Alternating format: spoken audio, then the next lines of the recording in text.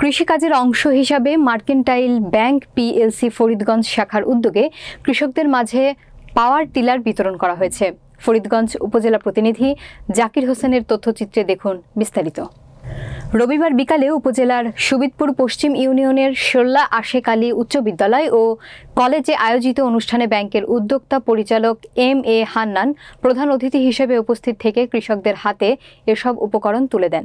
Mercantile ব্যাংকের কুমিল্লা থেকে নোয়াখালী আঞ্চলিক প্রধান ফরিদ উদ্দিন আহমেদ ভুইয়ার সভাপতিত্বে বিশেষ অতিথি হিসেবে বক্তব্য রাখেন উপজেলা কৃষি কর্মকর্তা কল্লোল কিশোর সরকার। ফরিদগঞ্জ প্রেস ক্লাবের সভাপতি মামুনুর রশিদ পাঠান। সাধারণ সম্পাদক নুরুল ইসলাম ফরহাদ, বিশিষ্ট চিকিৎসক আবুল কালাম আজাদ, মার্কেন্টাইল ব্যাংকের হাজিগঞ্জ শাখার ব্যবস্থাপক Mohammad Shahidul Alam.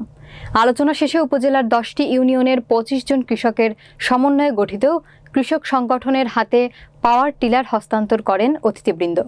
Mercantile bank PLC Faridganj শাখার ব্যবস্থাপক মুরাদ হোসেন চৌধুরীর জানান, আজ দশটি ইউনিয়নে এবং আগামী এক সপ্তাহের মধ্যে আরও পাঁচটি ইউনিয়নে পাঁচটি পাওয়ার টিলার হস্তান্তর করা হবে। এছাড়া স্বল্প সময়ের মধ্যে কৃষকদের মাঝে বিনামূল্যে সার বিতরণ করা হবে। মার্কেন্টাইল ব্যাংক পিএলসি খাদ্য নিরাপত্তা নিশ্চিত করতে এই পদক্ষেপ নিয়েছে।